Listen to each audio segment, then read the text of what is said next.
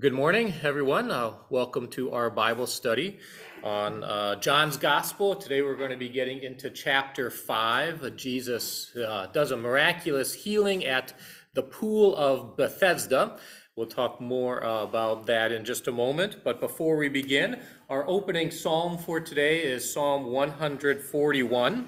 And um, as we read that. Uh, let me share the introductory words on this psalm. If you're following in the Psalter, it's the italicized print at the very bottom of the page. I'll, I'll read that for us.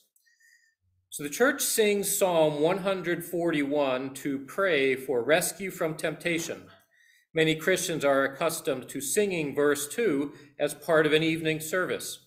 Martin Luther said Psalm 141 is a prayer psalm against godless teachers who appear to be friendly and speak smooth words rather than threats. The psalmist says it is better to be rebuked and corrected by godly teachers, even if evil comes upon us and we are uprooted and torn, suffering cross and death. It is better to trust in the Lord rather than in sweet false teaching. So, just to, as we read this and you consider those words from Martin Luther, um, I want you to, uh, it's kind of setting the table because Jesus is going to come in contact with the Pharisees who got mad at him and rebuked him for performing a healing miracle on the Sabbath. That's basically what John chapter 5 is. And, um, and that rebuke is something that Jesus had to suffer. And it was better that he suffer than that he not show love than the, better that he suffer than that he fail to reveal who he is, uh, the, the true God. So we'll read from Psalm 141. And I will read the first line, I'll let y'all respond with the, the indented, uh, indented words. And I think, I think they're all just single lines this time. All right. I call to you, Lord, come quickly to help me. Hear me when I call to you. May my prayer be set before you like incense. May the lifting up of my hands be like the evening sacrifice. Set a guard over my mouth, Lord. Keep watch over the door of my lips. Do not let my heart be drawn to what is evil, so that I take part in wicked deeds, along with those who are evildoers. Do not let me eat their delicacies. Let a righteous man strike me, that is a kindness. Let him rebuke me, that is oil on my head. My head will not refuse it, for my prayer will still be against the deeds of evildoers. Their rulers will be thrown down from the cliffs, and the wicked will learn that my words were well spoken. They will say, as one plows and breaks up the earth, so our bones have been scattered at the mouth of the grave. But my eyes are fixed on you, sovereign Lord. In you I take refuge. Do not give me over to death. Keep me safe from the traps set by evildoers, from the snares they have laid for me. Let the wicked fall into their own nets, while I pass by in safety. And so we pray. Let our prayers be acceptable in your sight. Come and help us in time of need, that we may sing your praise in holy joy now and forever. Through Jesus Christ our Lord. Amen. All right, so as we wrap up uh, wrap up uh, this section from John chapter 4. I believe we, we finished. Jesus had done the evangelism work with that uh, social outcast, that Samaritan woman, uh, the water at the well, and Jesus gave her living water. And anything who is anyone here last week want to share um, anything outstanding about that Samaritan woman's reaction to Jesus saying, I, um, I whom speaking to you am that Messiah. I am the Christ. Maybe not outstanding, maybe just anything that's that uh, any way that you want to say that she reacted. Mark. Well, she came there to get water out of the, the well, and uh, she went back and left her container there to tell the people what she Yeah, she came for water, and when she went back to share the message of Jesus, she forgot her water pitcher and all the water behind. Yeah, it, priorities shifted. Anyone else? Um, if we think about how she first shared the news with her friends, she went and said what she knew, but she didn't make anything up. This is this is the one. Could he be the Messiah? And then she followed it up by saying, "Come and check it out. Come and see. You decide for yourselves." Right? She didn't proclaim it upon them. That that uh, didn't force anything on them. And then the people, the rest of the people in the city, when they came to know Jesus, um, I, would like, is there a volunteer um, to uh, to read again here with the uh, the Samaritan woman um, in verse? Uh, well, it's up on my screen, so I guess I'm going to read it because it's not on your page in front of you. Uh, it's chapter four, verse forty-two. It says, "They told the woman, we no longer believe because of what you said. Now we have heard for ourselves." and we know that this really is the savior of the world so this is this is all on the heels of uh, of jesus sharing the message with the samaritan woman so after that we did also cover the healing of, of an official son because jesus left samaria and went to Galilee and spent an extended period of time there. This uh, healing of the official son, which is on the top of the sheet I handed out, um, not not the whole story, but uh, with John chapter five. Um, that, that's the only thing recorded in this number of months that Jesus and the disciples were in Galilee. You see, John doesn't repeat the things that the other gospel writers share. He just uh, shares additional details. And this miracle of, of faith, uh, there's something of, of faith that stands out in this, um, in this officer son, the royal official son, uh, who's healed because Jesus doesn't touch him. Jesus isn't even in the same room right?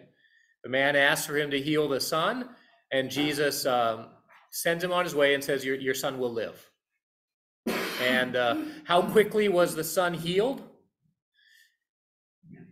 Yeah, instantly, but the man didn't know it I mean he went on his way, right? And then and then as he's on his way, he finds out from his servants who came to meet him, yeah, uh, your, your son's well, he's healed. When did it happen? exactly the same hour that Jesus spoke the words, your son will live. Um, so if just to, to, summarize that miracle of the official son, uh, there's a number of purposes we can sometimes say for a miracle. Uh, what would the, this purpose have been? Sometimes it fulfills a number of them, uh, but uh, sometimes one really stands out. And I guess I haven't done this with you all for a while. So what per- why would Jesus do a miracle? Well, he, he did it to fulfill prophecy.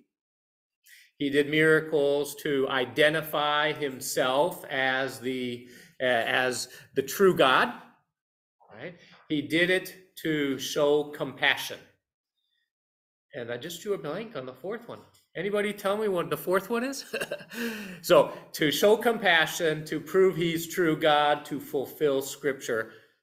And then we'll have to, well, We'll have to do the, I'll figure out the fourth and it'll come back to me later, but, uh, what, which of, oh, one for this very miracle. To, uh, to bring people to faith or to strengthen people's faith. Okay. And so with this one, the man uh, comes to Jesus asking for him to heal his son. Now, Jesus shows compassion, that's there. Jesus shows his power as God, that's there. But the main one that stands out is the faith because this man came with a weak faith, come and heal. And Jesus kind of says, Well, if I don't do a miracle, you're not going to believe. And the man says, If you don't do anything, he's going to die. And Jesus says, Go. And so he leaves. Your son will live. And that faith is growing. And not only that, the faith of everybody who knew. So that. Uh, that is the uh, that's what I was going to ask you if that stands out. But so it does stand out for you, right? is the strengthening or, or, or strengthening of his faith. Um, any comments or questions from that, that miracle? And I hope I didn't, if I confused you, let me try to clear it up uh, for those purposes of this miracle. And maybe we can do that with this miracle in John chapter 5 as well, um, as we get to it. A healing at the pool. Um, if you were taking notes, you can maybe put down, all right, was Jesus showing compassion? Compassion? Is he fulfilling scripture? Is he identifying himself as the Son of God, or is he bringing people to strength or or strength, bringing people to faith or strengthening their faith? So one of the one of those four usually stands out. Sometimes it is, it is a combination. So we'll get to John 5 now, the healing at the pool. Uh, a volunteer here who would uh, enjoy reading for me? Uh, Dave, you want to take, uh, um, let's go ahead and just take verses 1 through 6. So that uh, short paragraph and a big paragraph. After this, there was a Jewish festival, and Jesus went up to Jerusalem. Near the sheep gate in Jerusalem, there is a pool called Bethesda in Aramaic, which has five colonnades. Within these lay a large number of sick people, blind, lame, or paralyzed, who were waiting for the movement of the water. For an angel would go down at certain times into the pool and stir up the water. Whoever stepped in first after the stirring of the water was healed of whatever disease he had. One man was there who had been sick for thirty-eight years. When Jesus saw him lying there and knew he had already been sick a long time, he asked him, Do you want to get well? So we have, we have setting setting the stage for for this miracle. Uh, first of all, where is Jesus going, or where has he gone, according to that first verse? Jerusalem, and what's the purpose of his trip there? A festival. Anybody know that one of the three festivals that this would have been? We don't know which one for sure. It says a festival. The three festivals were one in April, Passover, one usually in May, Pentecost, okay, and then one usually in October, Tabernacles or the Feast Festival of Tents, and that one in October is associated with the Great Day of Atonement uh, as well. So, so one of those uh, those uh, those events would have happened, and did very well. I'm not sure you even re- read your, the notes to to follow along and find those answers, and, and that's the key for those of you with the sheet of paper in front of you.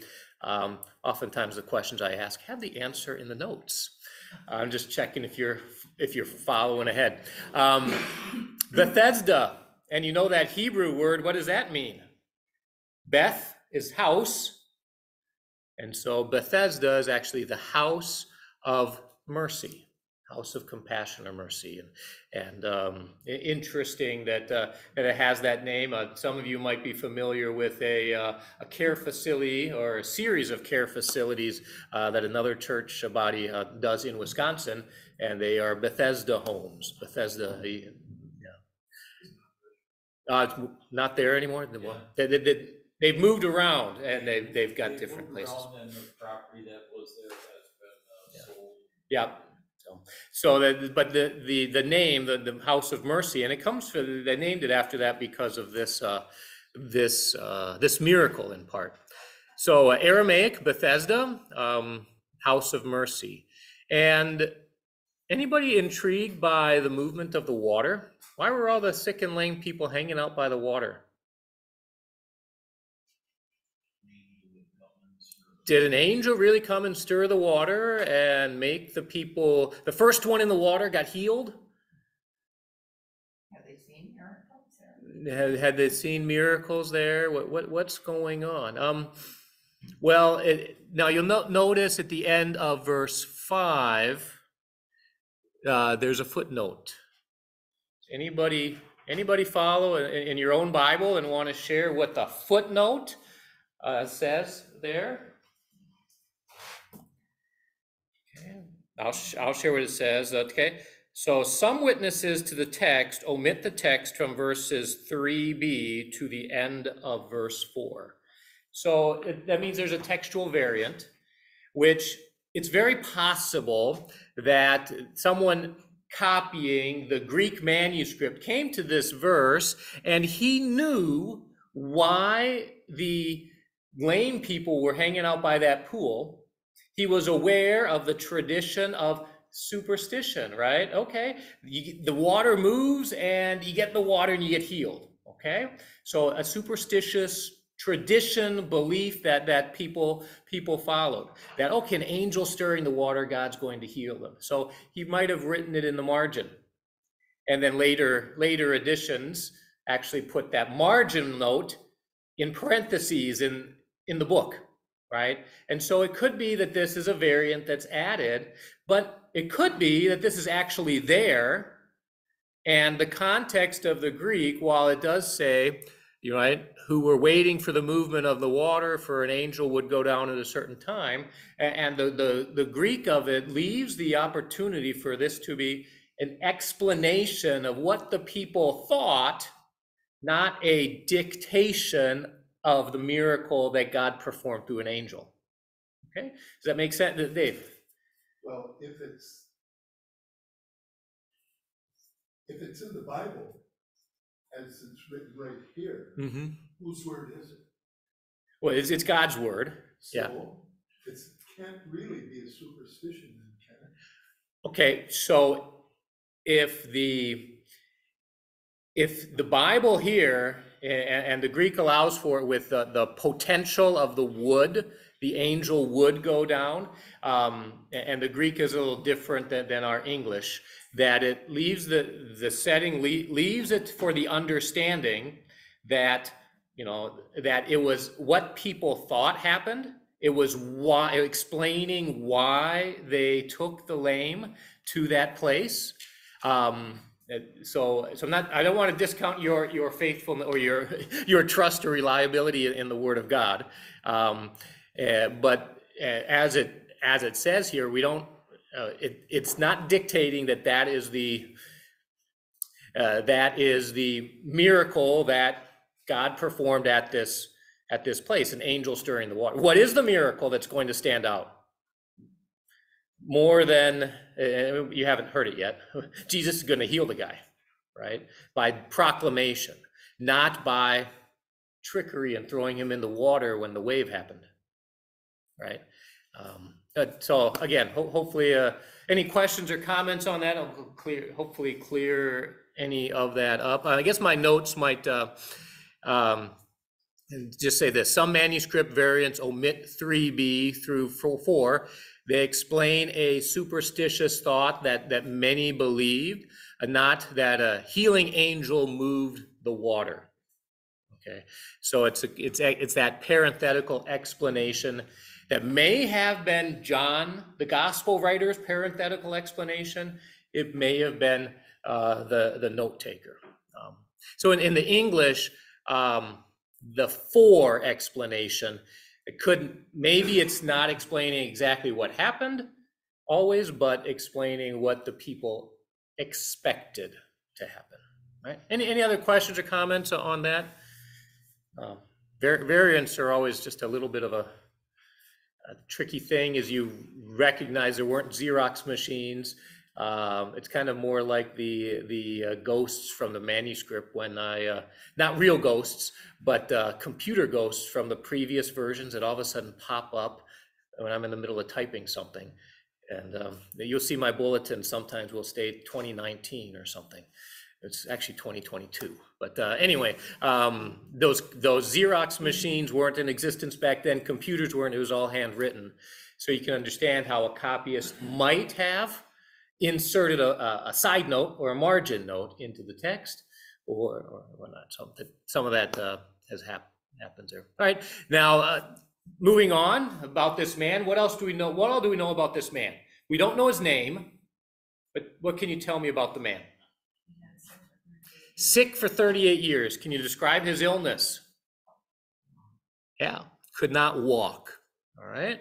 And when Jesus asks a dumb question, it's not a dumb question, but it sure seems like a dumb question at first, doesn't it? 38 years sick, sitting by the water. Do you want to get well? Um, yes right? So, but what, what is Jesus doing by asking that? Not a dumb question, it's an obvious question. What, what does that do when, when, when you ask something that that's obvious? Gets their attention. Gets his attention. That's the one side. That de- definitely got his attention. Okay, I'm gonna look at you, pay attention to you. I didn't know I didn't know you were a miracle worker. Don't know who you are, but you've got my attention because why? So that's the side of the individual gets his attention. What is Jesus indicating by asking the question? I am paying attention to you. Right? That's why he got his attention. So there's two sides to it. I'm paying attention to you, which is valuable in and of itself, and then getting his attention when Jesus has something important to share. So, uh, so yeah, uh, that's when, when Jesus asks an obvious question, there's a reason. He's showing care and compassion, but then also getting his attention because Jesus doesn't just want to heal him. What does he want to do with his heart? Bring him to faith. Bring him to faith. Okay, any questions or anything else uh, through verse 6? Okay, uh, another volunteer to continue reading. Uh, Rosie, would you mind uh, starting with verse 7? And uh, go ahead and take it through verse 10. Sir, Satan I have no one to put you into the pool when the water is stirred up. While I'm going, someone else goes ahead of me. Jesus said to him, Get up, pick up your mat, and walk. Instantly the man was healed. He picked up his mat and walked. Okay, so here we've got two, you know, a couple verses, three verses, I guess, and the miracle's done. This is the extent of the physical miracle for this whole chapter. It happens really early on in the chapter. We're going to have the rest of the chapter is going to be talking about the results of it. Um, I think the movie that would be made about this would spend a whole lot of time on the physical miracle. But God's indicating this this physical healing isn't the most important thing, right? Um, the man, what did he have faith in at the beginning? Movement of the water, right? Um, if I can get in the water at the right time, right? And oh, and if I explain it to Jesus, this guy that's asking, "Do you want to get well?" Maybe he'll pick me up and throw me in right when the water moves, and then I'll get better. Okay, that may have been what he's thinking, right? Some, but because someone else gets down ahead of me. Uh, so he's he's uh, he's the lame, and so he's probably sicker or more disabled, if we want to compare it that way, than the people around him. He couldn't get into the water in time. And how quickly does Jesus answer?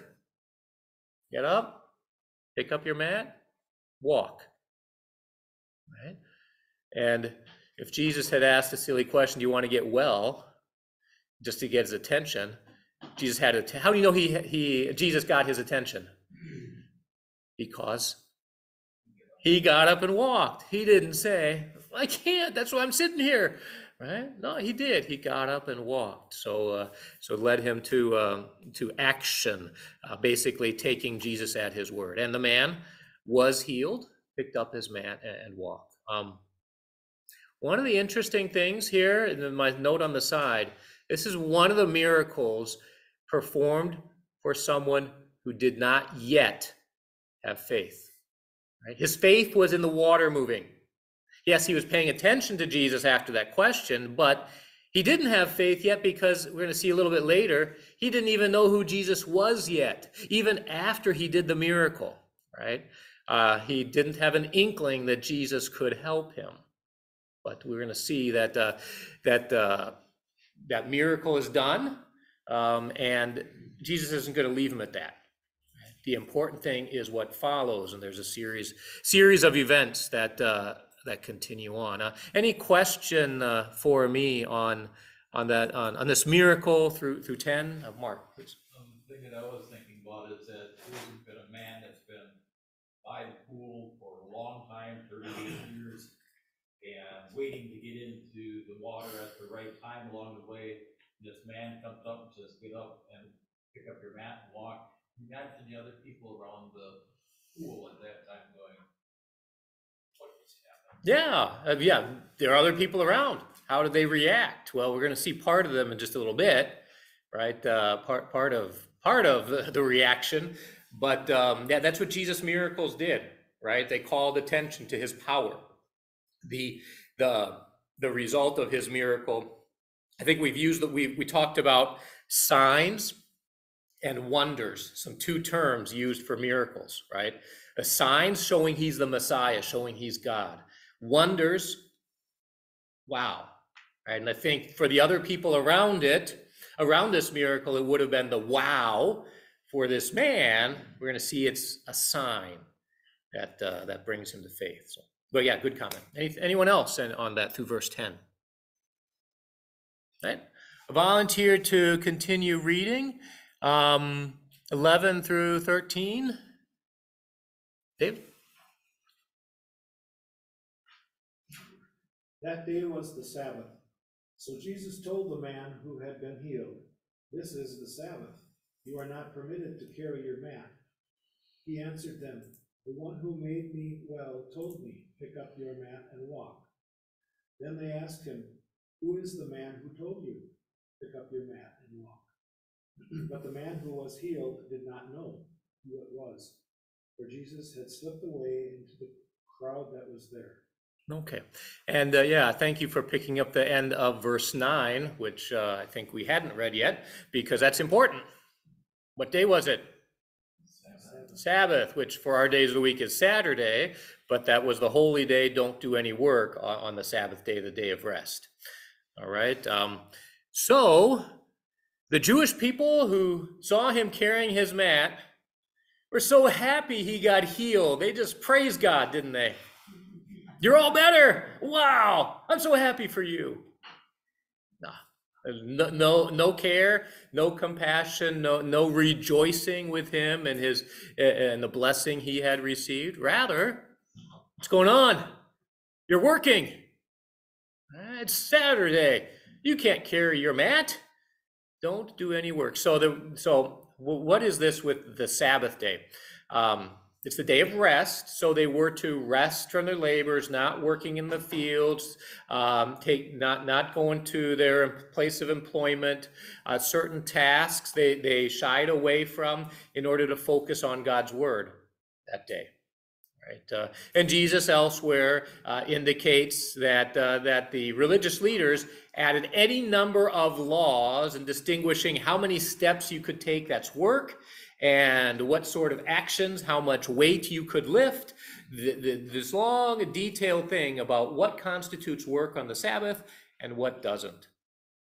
Why didn't God give that long list of what constitutes work on the Sabbath, giving the very details of how many steps you can take? Well, uh, they, they were looking at Jesus as just a mere man, Yes. not God, and he instituted this rest for man. And Yes, that's what Jesus himself said. Uh, I'm just going to repeat what you said uh, so- for online. Um, they in, they saw him as a man, not God, and God instituted this rest for people, for men. Uh, please, Christine, go- do you have uh, ongoing thought because that's um, excellent. That, that was all. Okay, all right. A- Anyone else? Uh, Jackie. Well, just another thought comes to my mind back to this man who had been, if he was at the pool for thirty-eight years or what, but just, I mean, if nobody was helping him get in the pool, who was taking care of his, his earthly needs, his food and his personal needs and stuff?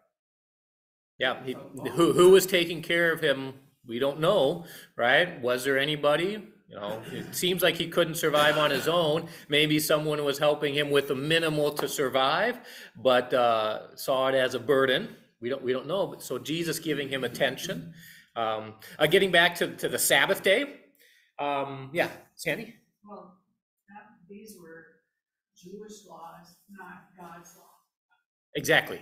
Jewish laws had, had added any number of things to to make it easier to obey, at least to un, to think you're obeying. If I can itemize out what's work and what's not, then I don't have to like evaluate all of my priorities and kind of get my mental thinking and my heart in the right place, which is what God wanted. God wanted their heart focused on the word, the promise of the coming Savior. So he says, don't do any work. Focus on my word for a day. Trust in me for a day. Trust in me that, that your physical labor isn't the only thing that's going to provide for you. That you're going to take a day of rest and know God will provide, like the manna. They didn't go out and harvest manna on the Sabbath because what did God do? He gave a double portion the day before. And usually, if they collected extra, it rotted overnight. But on Friday night, it didn't rot. So you got to eat it the second day, right? So there was faith in God to provide. God did so many things like that to help them focus on the word of his promise. And that's why he doesn't itemize out what's work, how many steps, how much weight, what sort of other things you you you can do. Because he said, I want your hearts. I want you to think about this. Um, and, and for some of us, work is going to be taking 20 steps. Some of us is going to be walking two miles. Some of us, one mile isn't a walk, isn't work, right? So, so we, we're gonna, we have that way that we evaluate our, our priorities, which was the whole, and Jesus is gonna go on to, uh, to help, help the leaders and the other people understand that their focus, by focusing on the law, they were losing the main point of their need for a savior. Um, okay, so, um, I guess, yeah. So in my- notes on verse 10, so Jesus knows it's the Sabbath. He knows people are going to find out. He told them to pick up his mat, but he heals on the Sabbath anyway. He doesn't wait till Monday morning. Why? By by bringing up this Sabbath day conflict with the Jewish leaders, Jesus is going to draw attention to himself and to his person. So we're going to move beyond the Sabbath day and now talk about who Jesus is, which is really where this chapter is leading leading us. And why do we want to know where who Jesus is?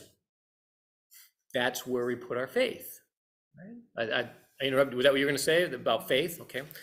Uh, ask a question, then I answer it before I give you a chance. So I apologize um, for that. Um, all right. Somebody tell me how far we got with the reading.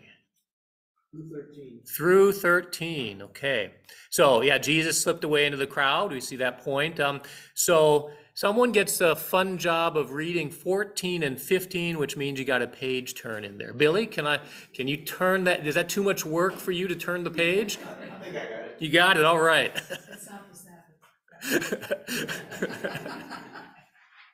Later, Jesus found him in the temple and said to him, Look, you are well now. Do not sin anymore, so that nothing worse happens to you. The man went back and reported to the Jews that it was Jesus who made him well. Okay, so Jesus finds him, doesn't leave him with that uh, that concept uh, of not knowing who Jesus is. Right? You're well now. Don't sin anymore, so nothing worse happens to you. I got a few notes in there that kind of explain that statement, but does is that statement of Jesus a little confusing? Do you need clarification? Do you think you understand something that should be clarified? Um, Was he lame because he had done a great sin? Was he lame because he had done a, some great sin? We don't know, right? So um, yeah, don't don't sin anymore. Kind of brings that thought. Was was he lame because of a sin? We don't know. It's possible. What else comes to mind with that statement of Jesus? Well, it's just importance of faith rather than the physical side. Okay. Yeah, it's the faith in uh, rather than the physical side. Um, yeah, you are well now, but there's more, right? There's more than just being well. Right? Uh, what about at the end of that sentence? Nothing worse happens to you. What is where does where does your mind go with that thought? Condemnation in hell, right? Separation from God forever. All right. So that's what the something worse really leads us to, because that is going to be the worst thing that occurs if you live in unrepentant sin. Right. So Jesus is moving, and I think he's probably moving. I don't. I don't think that Jesus is declaring, or I know Jesus is not declaring this illness was caused by a sin. That's a possibility, but the focus is on the now. Don't sin anymore. Okay? Don't sin anymore. Don't go on living in unrepentant sin. Don't go on living in selfishness. Don't go on living in disregard to the law and even how the law and the prophets point to a savior coming. Don't live only focused on your physical needs. Repent, right? And if he doesn't repent, doesn't say that he's going to be lame and paralyzed from the nose down, right? Rather than just the chest down. We what what what is the worst thing that's going to happen if he lives in unrepentant sin? He's going to go to hell. Don't let that happen. So Jesus doesn't explain all of that here, but this is a conversation that he's working with the man, and this is just the part that at this time John has been inspired to, to share with us. Um, so the man in verse 15, with this little bit that Jesus has shared, what does he do? Okay, why? I don't answer that one on the sheet. I want your thoughts. Why would he go report to the Jews that Jesus, the, the Jewish leaders, oh, the, yeah, it's Jesus. He's the one who healed me. He identified himself. Now I can tell you who he was. Because when earlier he said, well, the man who told me to get up also told me to pick up my mat. Right? Why would he say it? When little brother tells mom and dad what you did, anyone ever have that happen? Maybe if you didn't have a little, maybe big brother, big sister. Big sister goes and tells mom what you did. What do you call? Tattletale. Was he being a tattletale to the Jewish leaders? Was he trying to get Jesus in trouble?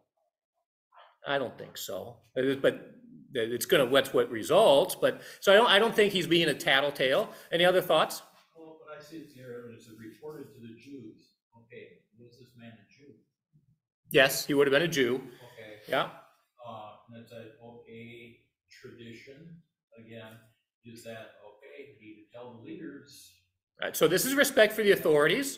The Sanhedrin, the Jewish council, they were the religious authorities. They were failing at it by leading people away from God, but they were still the authorities. Did Jesus show respect to the religious authorities? Did he respect the Sanhedrin? Yes, he showed them honor and respect. He also corrected them when they failed. And he's going to do that later in this chapter. But yes, I think he goes reports it to the authorities for one reason, because he is respecting their authority. Second reason, he had left some unfinished business with them when he said, I don't know who healed me. So let's clear up unfinished business. Now I know. Let me go back and tell you. Okay, that, that so I, we say see that as well. Any any other reason that you can think of why he might have gone to report it to the authorities? Could it just be his excitement of, uh, the physical, that's what I was thinking. Yeah, uh, excitement about the physical as well as the faith, and we're going to see that um, that that the faith is growing slowly. So especially later on, that excitement, the excitement, excitement here seems to still be okay. He physically healed me, and Jesus is leading him slowly towards that next point you mentioned, the the the excitement about not just healed in body, but healed in soul. Yeah, good good comment, good thought. All right. Do you want to continue a little bit here? Let's get, we got about five, six minutes to go. Um, and it's kind of, this is, it would have been a good stopping point, but I'm not going to stop. We got to kind of, the man doesn't know Jesus fully yet.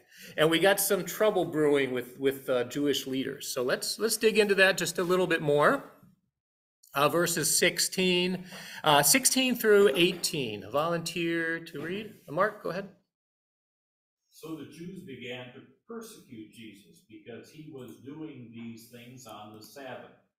But Jesus answered them, My Father is working right up to the present time, and I am working too. This is why the Jews tried all the more to kill him, because he was not merely breaking the Sabbath, but was even calling God his Father, making him equal to God. Okay, so what was the way the Jews began to persecute? We don't know the details, but talking bad about him, uh, making things difficult for him, opposing him. But why? Because of what he did on the Sabbath. So, okay, he's breaking the Sabbath law. We're going to be on you for that Sabbath law. But what does Jesus declare in verse 17? This is what I commented on earlier. By doing the miracle on the Sabbath and telling the man to pick up his mat, Jesus opened the door for He's calling himself God. He's- blaspheming. calling himself God.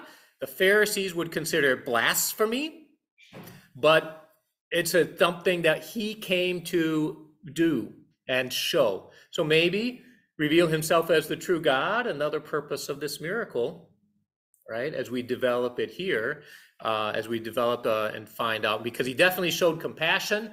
We've seen him identify himself as true God, and we're working our way towards maybe in this chapter um, bringing a man to faith, which ultimately for me stands out. Is but I shouldn't. I tip my tip my hand, right? Show my cards before we get to the end of the chapter. Um, so yeah, Jesus identifying himself. Explain. My Father is working right up to the present time. Didn't the Father stop working on creation and rested on the seventh day? Is he still working? Continually. Yes and yes, right? Yeah, you can answer both of those questions. Yes. Didn't the Father stop his work of creation after six and rested on the seventh? Yes. So is God still working? Yes. Someone mentioned, how is he still working? Um, David, was that you? That, that, uh, Continually. how, how is he continually working? What would happen if God stopped uh, keeping the sun in place? It would fall out of the sky. This is called his work of preservation, right? So God continually works in, in preservation. Um, what does God? Oh, please, Celia. He continues to make fruit on the trees, he continues to make the grass grow, he continues to let it snow, he continues. All of these examples of preservation, the list is endless of the things that he continues to do in his work of preservation. Any of you ever teach history or study history? You taught history in a Lutheran school. Did you ever divide history out into two words? His His story. Okay? In a Lutheran school, you say it's his story, it's God's story. Who's directing history? And the Lutheran Reformation, Augustine, the Council of Nicaea, World War II, presidential elections. Who's guiding history? We don't always see why, but God continues that work. So um, yeah, so so yes, God is continuing to work, and Jesus is saying, oh, and and does God take a break one day of the week from His work of guiding history? So if it happens on Saturday, well, God not might not have, but it happens Sunday. That's God's guidance. Saturday, no, no. God continually is working. Um, and then the big point was there any doubt among the Jews, Jewish leaders, about what Jesus was saying? Any doubt about Jesus claiming to be true God? How do we know they didn't doubt his claim? Angry to pers- enough to persecute him, and what happened to that persecution? It's called an escalator, isn't it? The anger escalated to what point? Persecution, and what did they want to do in verse 10? They wanted to take it all the way to the highest level. They wanted to kill him. That's how much they they wanted to, to stop him and persecute him. Anybody who ever would say, "Oh, Jesus was a great man, but but you know he never claimed to be God." Have you read the Bible? Jesus continually claimed who he was, and his enemies knew who he was, and that's why they wanted to kill him. He made that claim very often because he called God his own father, making himself equal with God. Now I think I've taken you to a point where you're up, we have a cliffhanger for next week, so you all have to come back. All right, any questions you want uh, to ask me through verse, uh, through the end of verse 18? If some of you become, serve as my scribe and make sure I start at the right point next week, I would appreciate that. Uh, why don't we wrap up things with, with prayer and blessing? Lord God, Heavenly Father, uh, we thank you for your compassion, but even greater than your compassion in our lives, uh, the way that you have brought us to faith and that you strengthen our faith. Continually do that work, O Lord, and allow us to trust in you as the true God, as our Savior. Amen. All right, we will worship in about 15 minutes.